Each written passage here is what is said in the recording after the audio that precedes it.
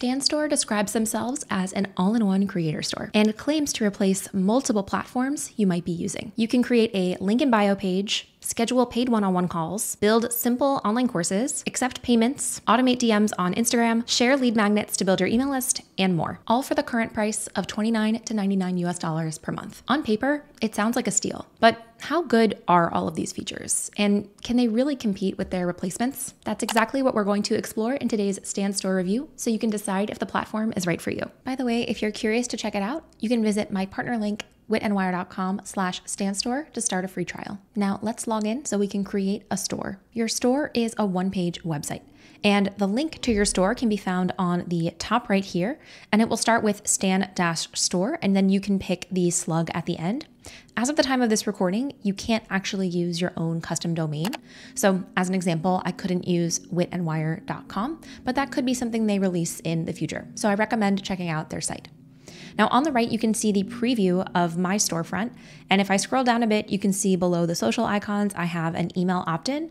I have a link to a mini product, and then I have a link that happens to be to my primary website, but you can add external links as well. So we'll talk about all of those shortly. You can also see the option to change to a different starter theme.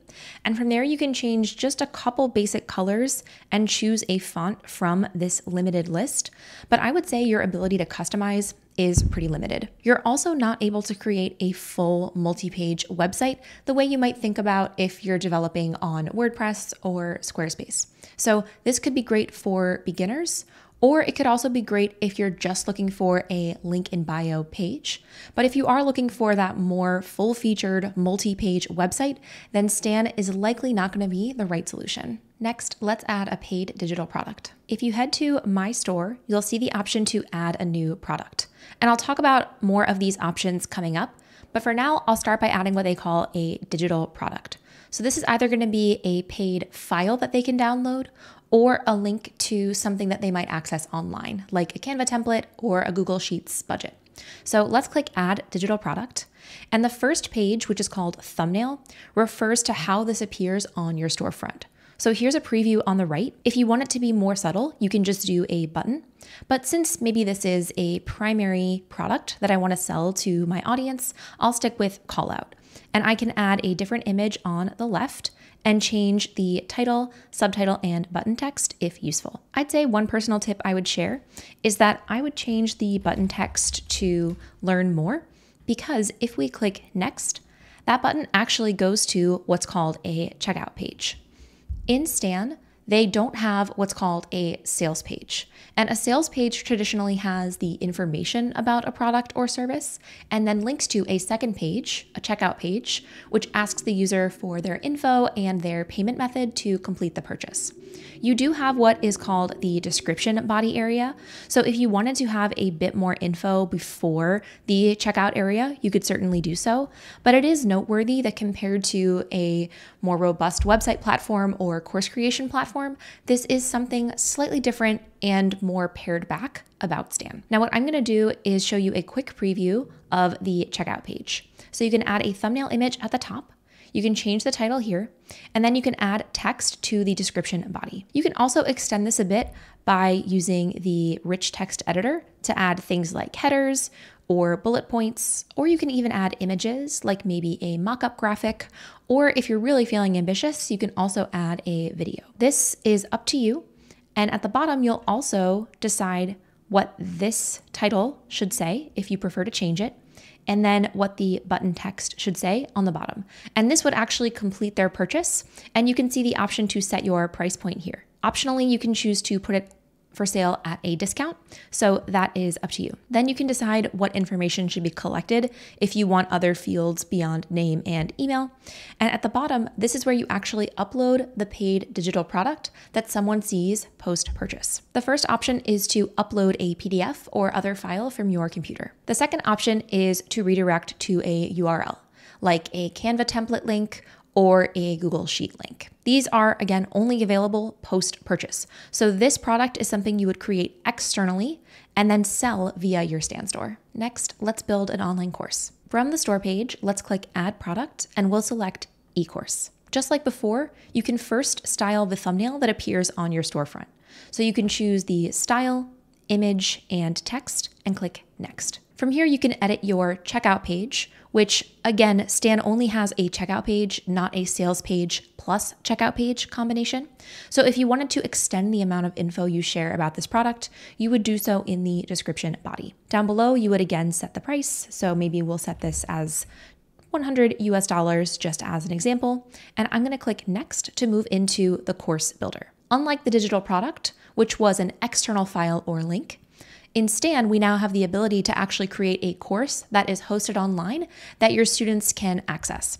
So at the top, you have what they call a homepage, and then you have modules, i.e., sections, with individual lessons. I'm first going to actually click preview to show you what this looks like. So this is what they call the homepage. It has an image and a little bit of text that welcomes students to the course. And then you can click into individual lessons in the sidebar. And this is how your students might move through the course, just like this.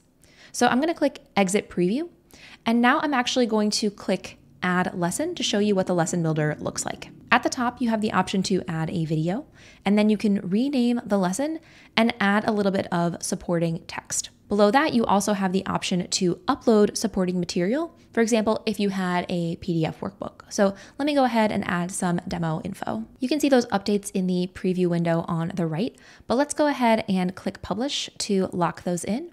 And this does, for some reason, bring us back to the thumbnail tab. So I do have to go back to course, and now I can see my new lesson here. So let's click into our lesson, click preview, and here is just a sample of what courses look like in Stan. You can also sell one on one calls. So on your storefront, you can click Add Product and choose a coaching call. The thumbnail tab and checkout page we've seen before, so I'm going to skip ahead to availability. You'll first need to decide where you'll meet. So you can choose Google Meet, Zoom meeting, or other, and you will need to have an account on that external platform. But these two do have native integrations with Stan. Then you'll decide your meeting logistics, including the time frame and when you are available. And then on the right, you'll see a preview of the checkout page, which shows that your buyer will choose a date and a time based on your availability. And then they will enter their name and email and any other fields you may have chosen before completing the purchase. Now, if you're curious in selling something like a pack of calls or something that is more of an ongoing service or a project, you might need to use a slightly different product type in a Stan.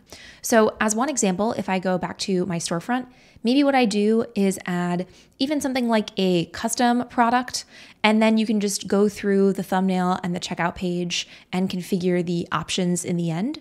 And then maybe in the confirmation email, you might give instructions on what comes next. So the simplest example might be that their package with you, let's say, has been booked and that you'll follow up shortly with more info. And then you would just switch over to regular email to initiate your service. Next, let's create a free lead magnet to collect email addresses. On My Store, you'll click Add Product and select Collect Emails. This thumbnail looks a bit different because it includes the name and email address. It doesn't go to a second checkout page because we don't need to collect any payments. So you can change the image as well as the title and subtitle text to more accurately show off the benefits of your free guide or free resource. And after someone submits their name and email address, on the next page, this is the file or link that they will receive. And the way that they receive this free resource is via a confirmation email. And you can actually edit that confirmation email here. So you don't need an external platform to collect the email address or to deliver the freebie. You can do that all right within Stan. In fact, you might also be wondering if Stan can replace your email marketing platform. The answer is maybe. And if you head over to the email flows tab, you'll see that you do have the option to build flows, another word for automations, and send email broadcasts, but only on the Creator Pro plan. For transparency, as of the time of this recording, Creator Pro is 99 US dollars per month, while everything I've shown so far is available on the $29 per month plan. So I haven't tested this extensively. I want to be transparent about that. But you can create basic email sequences that send one or more emails after a triggered action. And one example they show here is a thank you note for a new client, or you can also follow up with instructions for a course buyer. Then, under broadcasts, if this were unlocked, you'd have the option to send messages like email newsletters or sales promotions. So, although I can't personally speak to the depth of those features, I can say that if you're willing to use perhaps a simpler tool and forego some of the bells and whistles of other email marketing platforms, then Stan could be a good fit and perhaps a good place to start. You can also build a free or paid community with Stan. You can head to Add Product and choose Community. And I'll skip over to the Community tab to show you a quick preview. Now, this is a demo community, that's why you don't see anyone here, but I will say that there are just enough features to make this useful, and you can test this out to see if it does what your specific community might need it to do. I personally happen to use Circle as my own community and course creation platform, and you can find more about my favorite course creation platforms linked in the description. But I do think that if you just need the essentials, or if you're testing a new idea and getting started, then this could be a good option for your business. Long term, as your community grows, you might outgrow some of these features, but you do have a basic discussion feed, a place where you can add resources, and the option for buyers to see the products that they have purchased and therefore have access to. I also want to talk about AutoDM. This tool lets you set up automated replies for specific key phrases in your Instagram comments. So, as an example, if I created an auto reply, I could say if somebody types in a certain phrase, either on all of my posts or I could choose just specific posts, then this is the either DM or the comment that I want to share. So you can decide to comment back or you can skip that and just send them a DM directly. That gives you a bit of flexibility. And I'll just publish this as an example to show that you can create multiple replies for different keywords on different posts. You'll also be able to see some stats over time, which transitions us nicely to talking about Stan's analytics. From this simple dashboard, I can see how many store visits I've had, my total revenue, and the number of leads or email addresses that I've captured over a set time frame, which I can change at the top. And on the bottom, you can also see how many views a specific product checkout page has had compared to how many orders to give you an overall conversion rate. Although this is simple, I think this is much easier to learn than something like Google Analytics, which can take a bit of time. So I think this is a great tool for business owners to really see the essential data for your businesses. I also want to mention external links.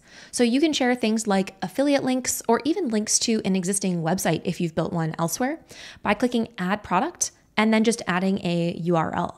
So if you promote another product or if you're using Stan more as a classic link in bio option for your socials and you've built a full website elsewhere, then this is just good to know about because it gives you the flexibility to add either a call out or a button to your Stan storefront without needing to build the entire product behind it. So I might click publish and they do want me to have a URL. So maybe this is just going to go to my website and if I publish, now it'll allow me to add it to my storefront. And by the way, you can easily rearrange these anytime just by dragging and dropping. So, what's the final verdict? I think Stan's biggest strength is its simplicity.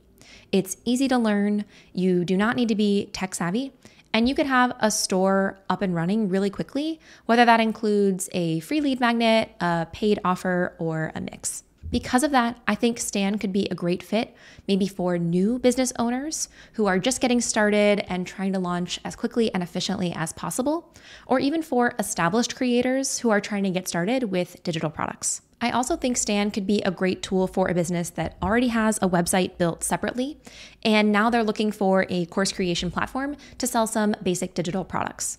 So for you, Stan would become a supplemental piece of your tech stack rather than it being the sole all in one tool that you're using to build your business. That said, while its simplicity will be its biggest selling point for some, it'll be a detriment or disadvantage to others. So, as one example, if you're looking for a true all in one platform that can actually build a full website and do email marketing and create and sell digital products, I might look into tools like Kajabi or alternatives, which I'll link in the description, because they're just going to be a little bit more full featured than Stan. I'd also say that while the course builder is great for mini courses, I don't know if I would use it for signature courses at a higher price point.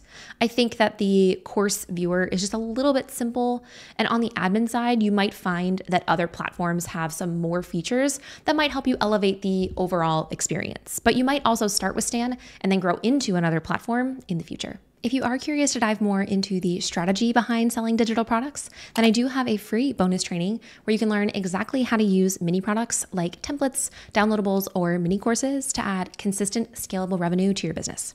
You can visit witandwire.com slash mini masterclass to watch for free, and you'll also find a link in the description. If this video has been helpful for you, I hope you'll give it a thumbs up and subscribe to Wit and Wire for more online business tutorials. And while you're here, here's another video I think you might enjoy.